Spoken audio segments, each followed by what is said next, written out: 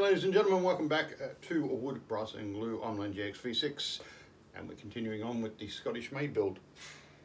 Uh, if we do grab our plans,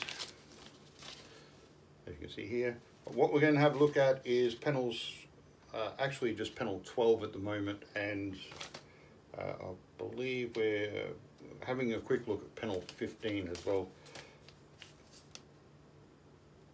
13 will panel 13 will come very soon but we're just going to uh, do a few slight things. It's actually very wet weather here in Perth at the moment. We have a bloody great storm coming over. Don't be surprised if you hear thunder. Not much we can do about that. So the first thing we're going to deal with though is that annoying piece down the back where we have absolutely no plans for just a couple of pitches. and I actually do think I've got this one worked out so bear with me here. So what the plans are calling for is piece 61 and 62, 62 being this piece right here. This is 0.6 by 5 millimeter um, planking. This is the stuff that you would have done the inner planking with, okay? So down on the transom uh, and along the bulwark, uh, and same again on the deck. So it's very thin, flimsy stuff. Uh, having a look at it and knowing what it's supposed to be, uh, I actually think this is the wrong stuff. One of the other things you're going to need is a 2x2, which I'm holding in my hand at the moment, uh, which is basically just the, a piece of the rubbing strake that you've already put onto the, uh, onto the ship. Um, you just need a, a length. Now, the plans do call for these to be 58 millimeters long, or 5.8 centimeters. Um, as you'll notice, I haven't cut the rubbing strake and I don't intend to cut the rubbing strake until I've actually put all this uh, actually together and that's for a very good reason. So we need one of those. What I have gone and done is I've grabbed a piece, uh, spare piece of the inner planking uh, from the hull. So the first layer of planking that we put down, um, this is quite a size thicker. I'm just wondering, did I actually read this right? No, that's right. This, this is 1.5. So this is 0 0.6. This is 1.5. Having a look at what this thing is supposed to do, I actually think it's supposed to be the 1.5, not the 0 0.6. So we're going to do this relatively quickly. Um, basically, you need two parts of this. I'll just cut that and that can go into the pile. I'll put that aside. I, need, I might need that later so I'm not going to throw it out. Okay, so you've got two parts. Glue both of these together and let them dry. Simple, simple, simple. Come back to it after it's all dried and we want, what did I say, 58? Basically all I did was I measured across the back of the transom, okay? Um, it's roughly going to be about that. What is 58 anyway? Oh yeah, look at that. Okay, so that's actually 58. Or 5.8 centimetres. Did I cut this to the right side? So all I've done is measured out the 5.8 marked out the 5.8 on the wood, such as that. Had a look at the plans and saw yeah, roughly what it looks like. It's like, yeah, okay, so it looks like it has actually used both pieces of wood here. And then, surprisingly enough, went and got the lid off my lolly jar put it on the two marks. And marked it out. That's it. So I'll put those aside and I'll whack that back aside because um, here's the one I've done earlier.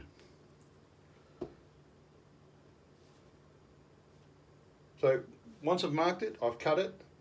I've then actually come back and realized that the transom, of course, is curved. So made a, a quick template up for the curvature, put the template down.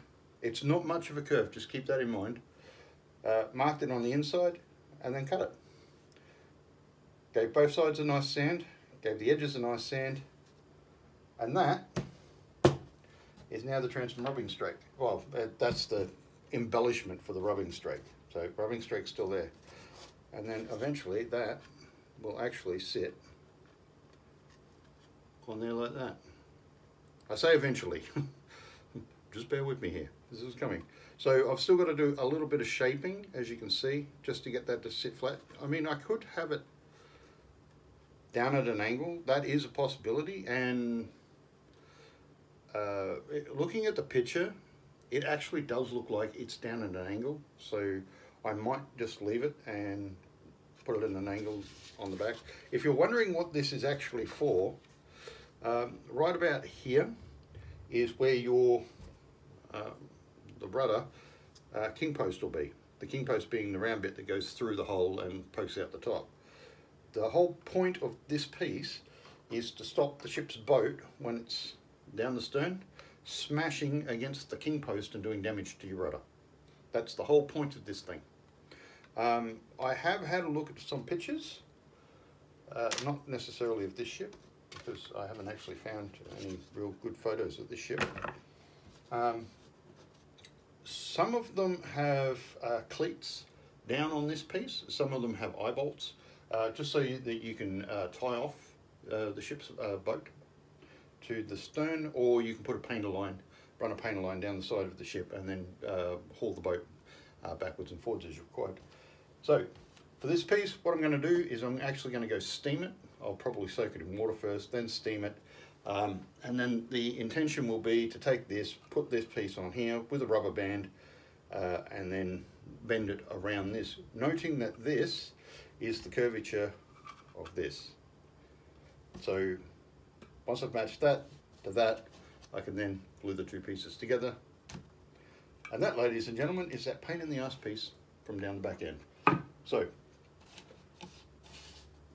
by the end of the video, we'll have that constructed. Next part that we're going to looking at is the rudder. Da -da. Now, I'm not too sure how each kit's going to be. I'm assuming that the kits are going to be the same and that you've got a rudder that looks like this. Uh, and if you have a look at your plans, um, the rudder actually cuts off there. And that piece there is, um, I think it's 4 mil dowel that I've used here. Now, I have actually measured this. That is the full length of the rudder anyway. So you can, theoretically, sand this round nicely and then stick it up the, uh, stick it through the hole and have the top pop, pop out. However, I am actually going to cut this off and uh, use dowel and construct that And this is the part that we're going to get to. Now, I did actually mention, before I go away, do all that, and then come back, if you have a look on picture 14, you can see that there are uh, side pieces that also need to be made up. I'm going to make those up as well. Now, when you make these up, if I can find the picture, actually use well, it's, yeah, they're not, we're actually going to show it, but if you go to picture 26, you will see that there are four sets. One on the outside, one on the in, inboard side. The one on the inboard side is the pin rail. Now these are all the same size. Uh, they're made out of the same stuff. So I'm actually going to cut all eight, shape them, clean them up, um, and much with the rudder and uh, the rubbing uh, the rear rubbing strake is uh, get it varnished up and get it prepared to actually go on the model uh, because that other than a few other um, uh, blocks and tackle and some pins are pretty much it for the hull so and if you haven't actually noticed um, I've already varnished my hull I finally got it varnished. It looks great. So I'm going to head off. I'm going to work on these uh, and I'll bring you all back uh, when these are done. And um, I'll walk, walk you all through uh, how I'm actually going to put the rudder on. Okay? So, catch you all soon. Hi ladies and gentlemen, welcome back. So after, oh, we damn, knocking things here. So after a uh, quite a, little bit of work, if I put up into the camera, and why do I not? Hang on. All right, there we go. That should be a little bit better. You can now see the rudder. Sorry about that. I, I've actually had the light turned off. So I've now actually shaped up the rudder. I've fitted the rudder. Now you'll notice I haven't put the king post on.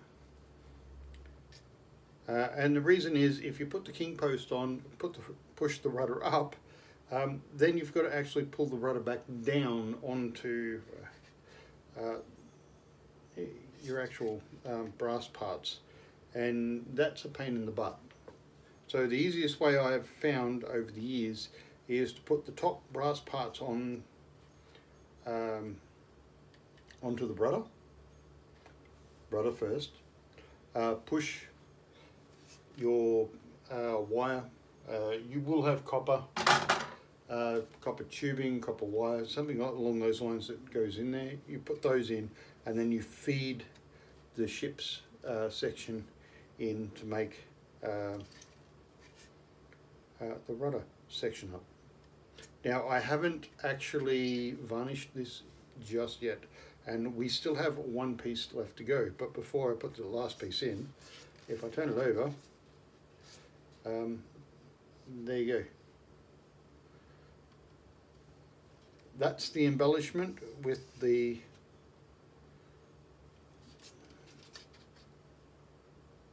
part there. Now I have actually angled mine down um, you may not like that. Uh, it, it's going to be up to you. I'm not overly sure how this is actually supposed to be. Photos on the internet show various different angles, various different positions. Uh, I've just gone for, well, a basic setup. It does actually work and that should be your waterline, I think about here. So if I run my finger down like that to the waterline, that is where the waterline is. So maybe it should have come up a little bit more of an angle, mm, not too sure. But we do have one last part to go and that's this. This is the king post. Okay, um, you'll, if I, I'm not too sure if I can get this. Um, in here, there is a four millimeter hole that I've drilled through. It does actually go all the way through. And if I put the king post through, as you can see, king post through. All right, king post. It's the small little piece. It's three mil, not four mil. Uh, I was wrong on that one. It's actually a three mil uh, king post. What I did was drilled a very small hole in the top and I put a very small piece of copper um, at the top of it. Very small hole at the top of the rudder. And what that allows now is me to match the king post uh, to the rudder. And I just need to get it into position and I will glue that up and get that fitted. And that is essentially the majority of the hole done. Now, as I said before, we do have the other bits and pieces that need to be done, um, such as uh, these. Uh, this is the, God, my mind just went blank then. ah, the pin rails, sorry. I knew what I was thinking. Okay, so the pin rails eventually will come up and onto here. I do need to shape to size. Um, one set of pin rails have five uh, belaying pins in. The other set have seven, and if I remember correctly, because I'm not actually looking at it. Oh yeah, there we go. Okay, so the set that has five, strangely enough, is at the front. The set that has seven is at the stern, so that will be you know roughly here. I don't have the thing at the moment, uh, and I've cut the extra parts. These are the outboard parts. So if I put my model on the stand for the moment, so what you will end up with is belaying pins on one side and these on the other side. And these ones here are the ones where your uh, dead eyes are actually going to come up on. So the dead eye stays will actually rest upon these to give it stability. And when I actually get to that point, which isn't too far away, um, I'll show you how to do that. Well, maybe not how to do it, but show you what each should roughly look like. Uh, be careful with that because the Deadeye stays are slightly different. The aft one, although that takes uh, seven belaying pins, only has four Deadeyes. The forward ones, which have five belaying pins, have four Deadeyes, but also has one block and tackle. So, yeah, something we're going to deal with. So, next episode, one, I'm actually going to get all this glued in and uh, varnished. I'm not going to do the varnishing now. As I said, it is stormy over here and the varnish just is not going to dry in any way, shape or form. I'm going to have to wait for a little bit of clear weather. Uh, I'll get that done.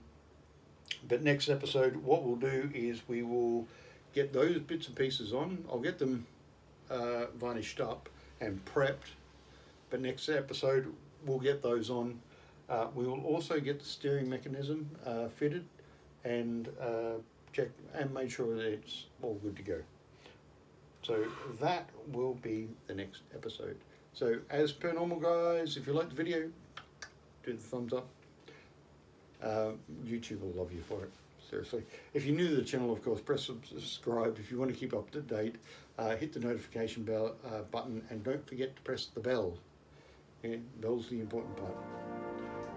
And until next time, ladies and gentlemen, farewell and following sense.